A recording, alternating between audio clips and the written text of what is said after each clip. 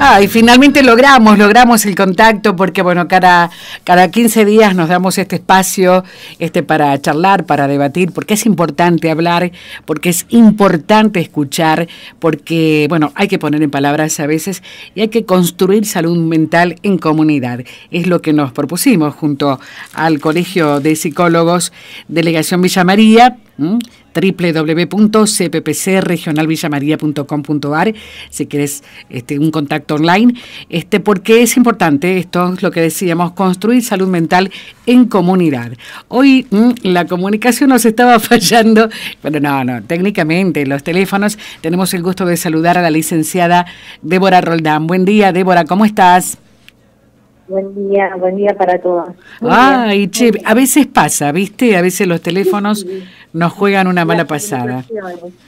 Bueno, pero estamos en contacto y es importante porque el tema que vas a abordar, vamos a contarle primero a la gente quién es Débora Roldán. Ellos ya, nuestros oyentes están acostumbrados a, este espacio, pero hoy vamos a hablar con la licenciada Débora Mariela Roldán, graduada en la Universidad Nacional de Rosario.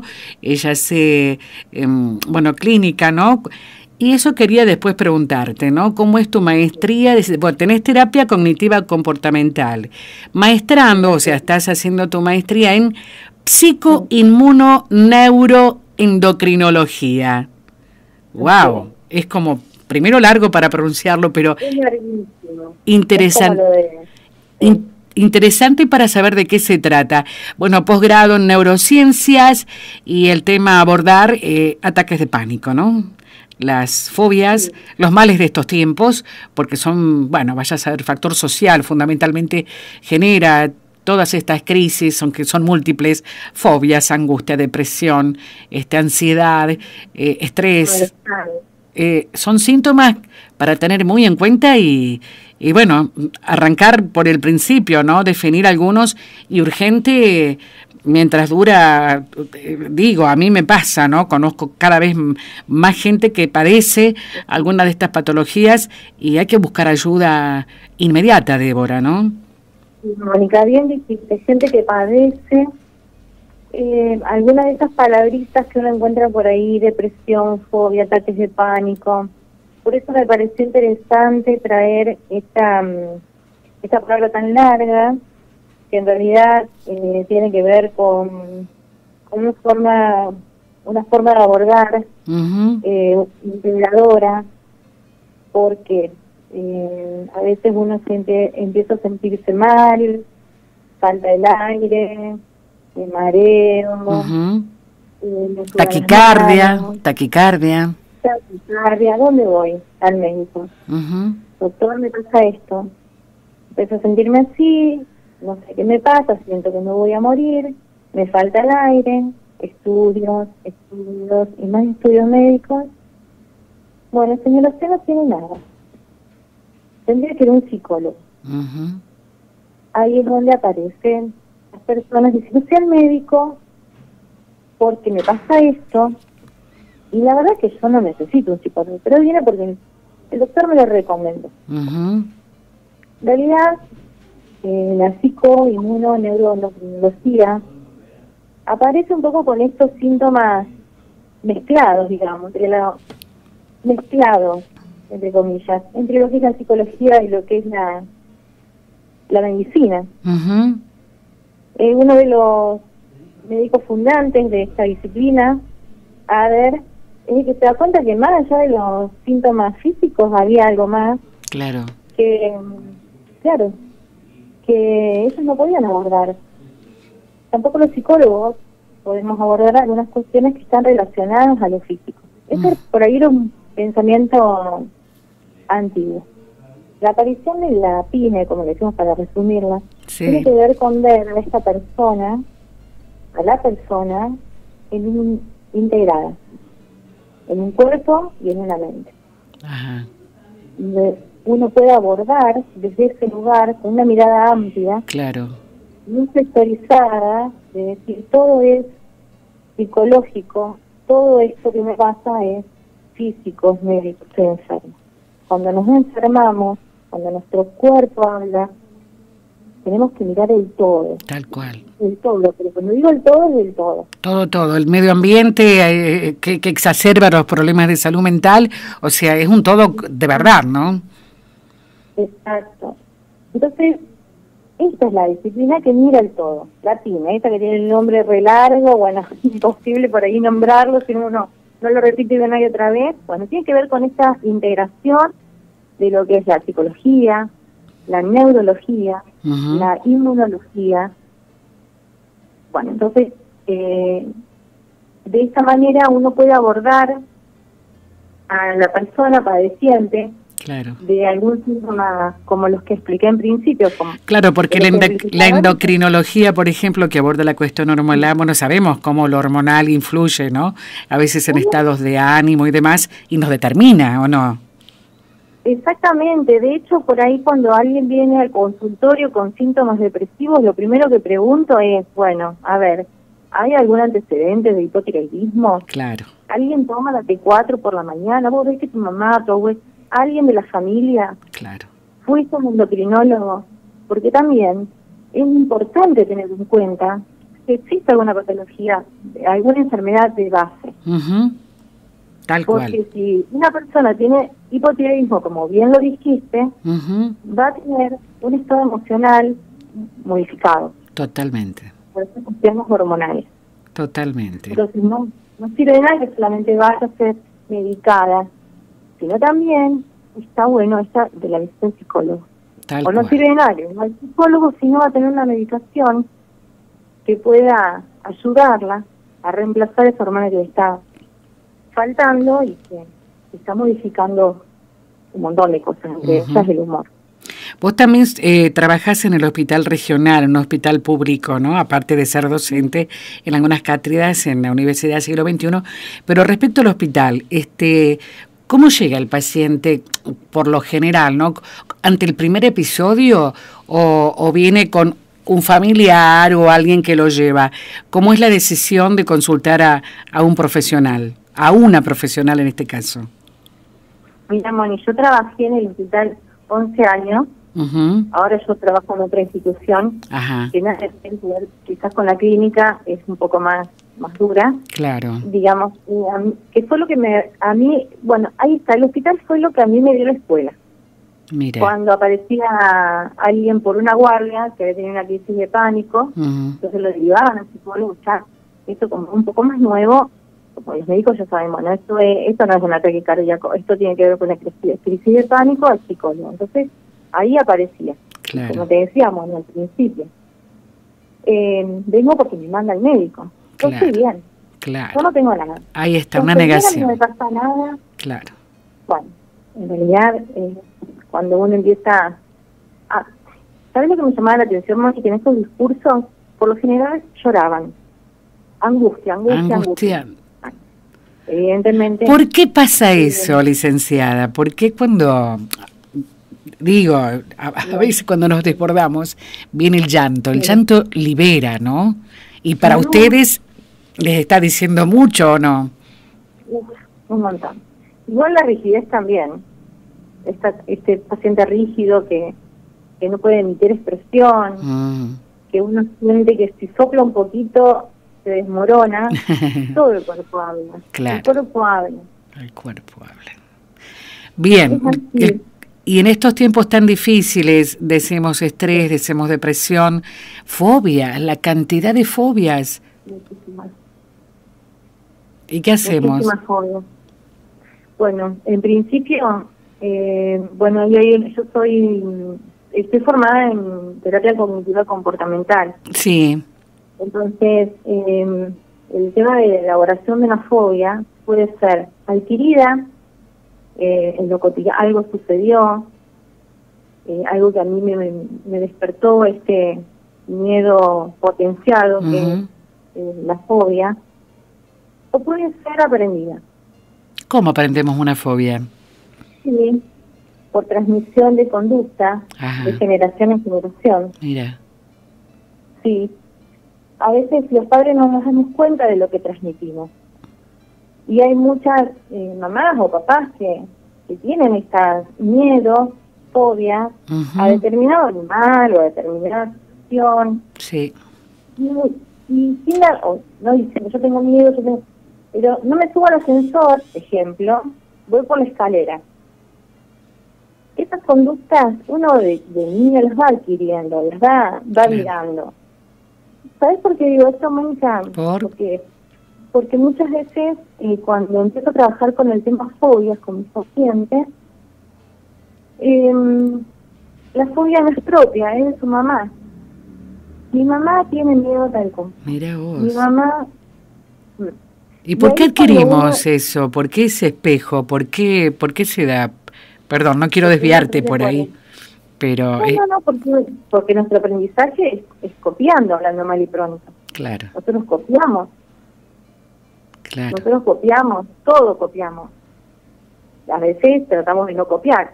Y, nos pasa que siendo madres repetimos algún patrón de conducta de nuestras madres. Porque así también nos formamos. Tal cual.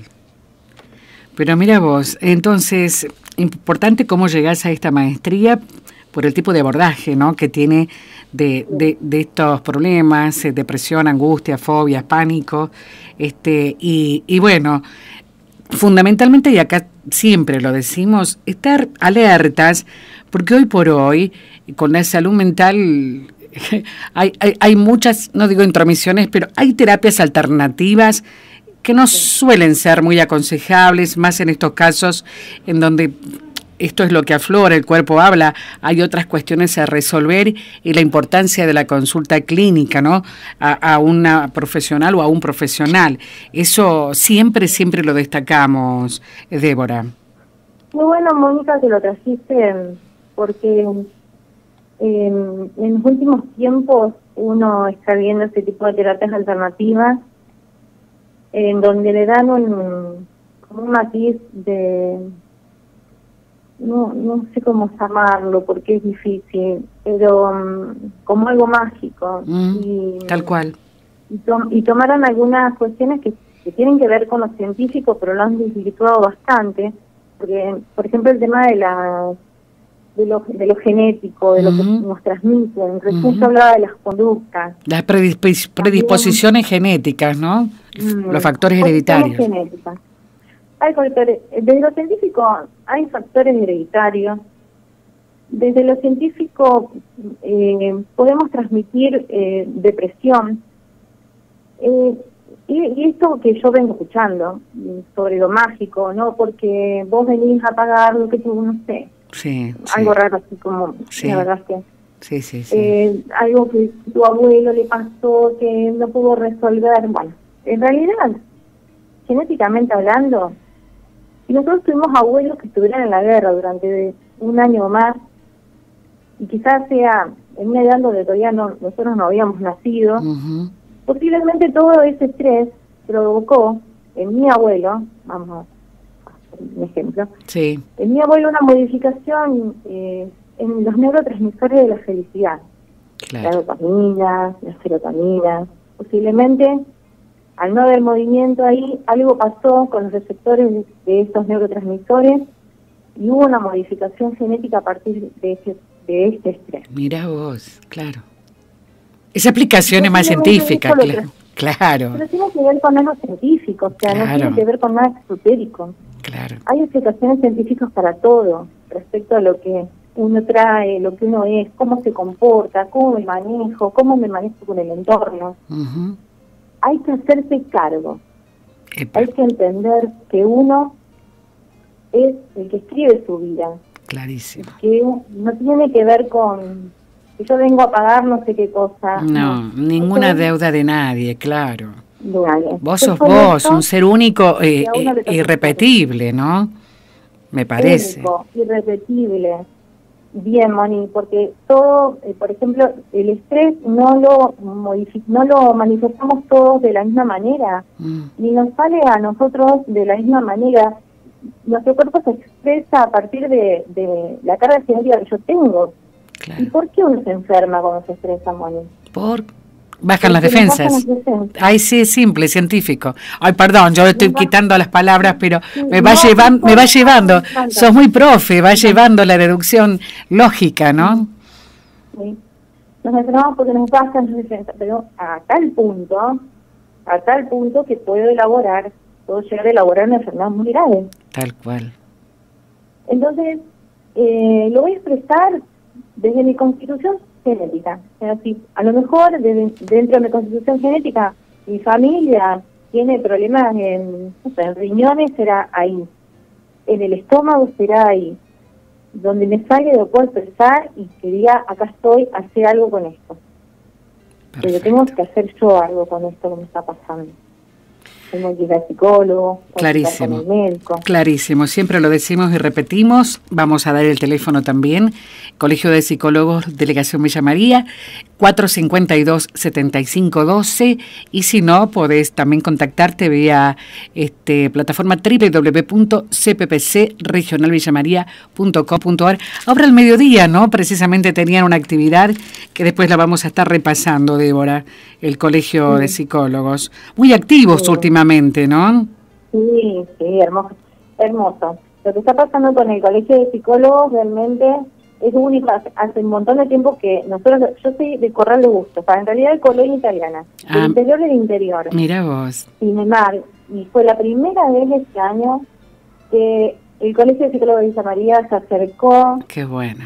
Nos abrazó en sentido metafórico y figurado todo y nos sentimos muy acompañadas. Y realmente eh, los espacios que están abriendo son excelentes no solamente para los profesionales, sino también para las, Para las personas que se quieran acercar. Tal cual. De, sí.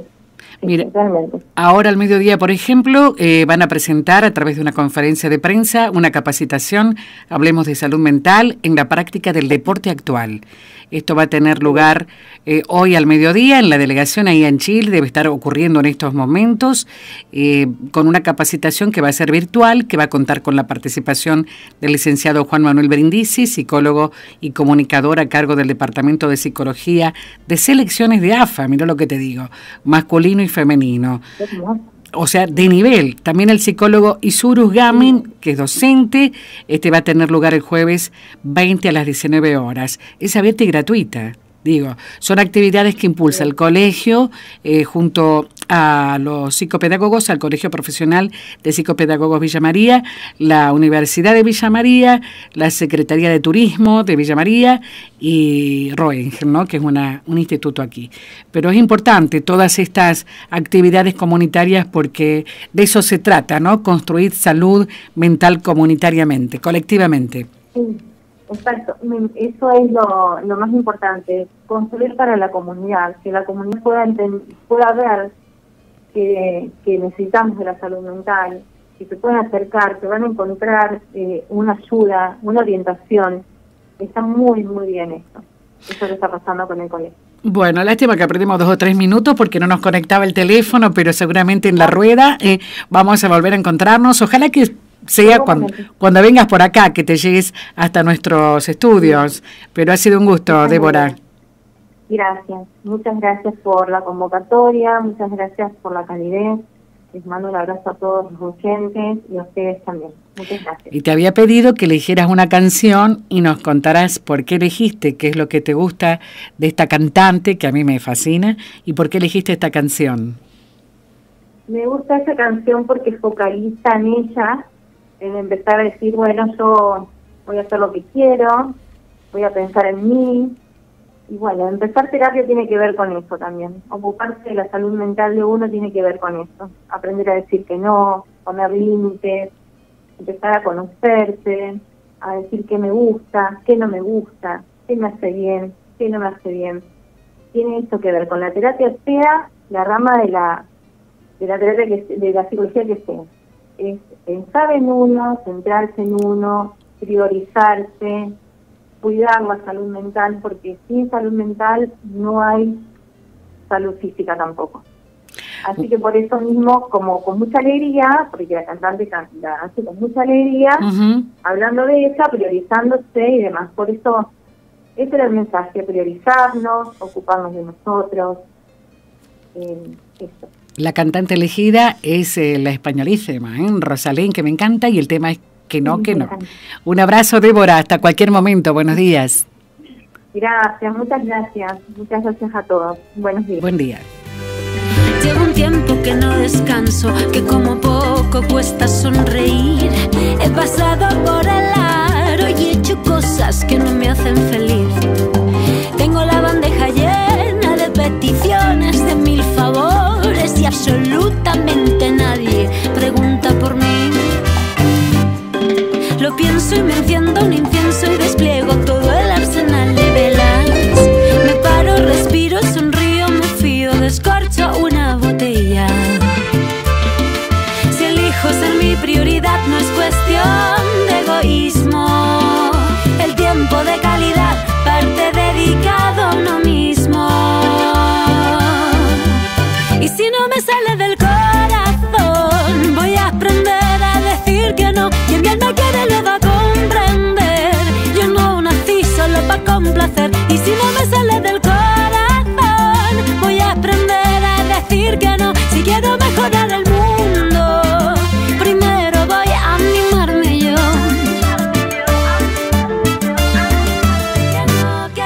vestido con ropa a la moda, me he puesto muy mona para gustarme a mí. He comprado un ramito de rosas y nerviosa me he pedido salir. Tengo la cabeza llena de mil razones que me aseguran que el amor más verdadero está más cerca de lo que creo. Ay, qué tontería, María, si te quedas sola para toda la vida. Dos gatos llorando sin compañía. Elijo ser mi prioridad, no es cuestión de egoísmo. El tiempo de calidad parte dedicado a uno mismo. Y si no me sale del corazón, voy a aprender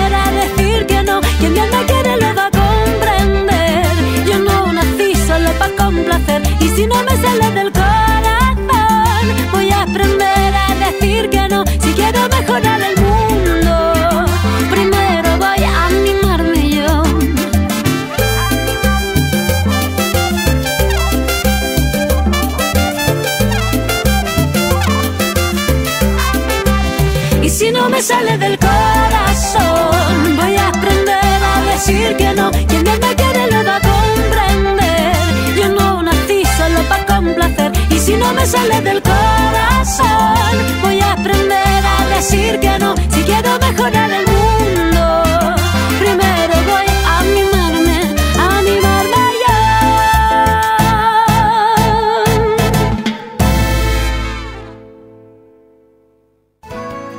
Angustia, ansiedad, tristeza. Son síntomas que pueden ser abordados